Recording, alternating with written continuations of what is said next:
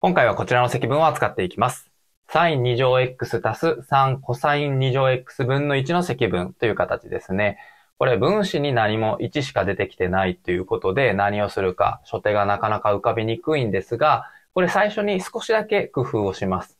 何をするかっていうと、sin と cos 両方出てきちゃってるんですよね。これがちょっと厄介なんで、この両方を cos2 乗で割ってみましょう。そうすると、コサイン2乗分のサイン2乗なので、これはタンジェント2乗 x になりますね。そして、コサイン2乗で割ってるので、3だけが残りますね。ただ、これ帳尻合わせしないと、コサイン2乗で今割っただけになってるので、ここにコサイン2乗をかけてあげると。分母の中でかけてあげるので、今これ分数になってますね。ということで、これが、このように変形できるのはわかるでしょうか？そうすると何が便利かっていうと、コサイン2乗 x 分の1。これって置換積分でよく出てきてますよね。そうです。タンジェントを文字で置いた時の置換積分で出てくるものでしたね。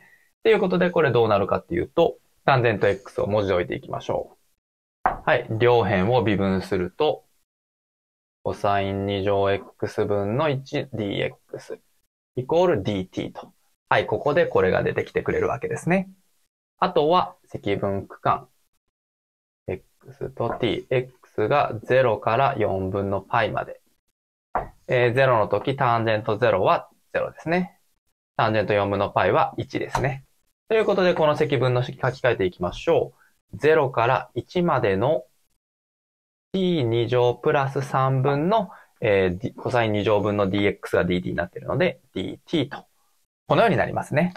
そうすると、この形、なんか見覚えがありますね。こういう積分何してたかっていうと、またタンジェントでの置換ですね。なので今回ちょっと変な感じがしますが、タンジェント x を一旦別の文字で置換をして、えまた t をタンジェントで置くっていうことですね。ただちょっと文字を同じにするとごちゃごちゃになりやすいので、今度はこの t をルート3タンジェントと置きましょう。そしてさっき x をもともと使ってたので、今回 θ に文字は置き換えておきます。ちょっとごちゃごちゃにならないように気をつけましょう。えそしてこの時、両辺微分すると dt イコールコサイン2乗シータ分のルート 3d シータというふうになりますね。そして積分区間が、え t が0から1の時。シータっていうのは、まず0の時は0ですね。で、t が1の時、タンジェントシータイコールルート3分の1になりますので、えこれは6分の π というふうになります。じゃあ、ちょっとわかりやすいこっちに書きましょう。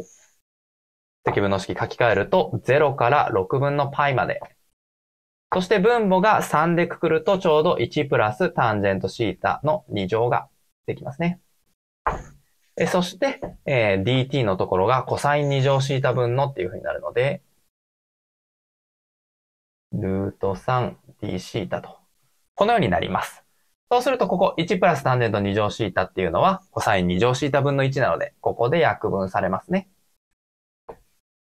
ということは、3分のルート3だけが残って、0から6分の π の1の積分ということで、これは6分の π だけ残るので、18分のルート 3π と、このように求めることができます。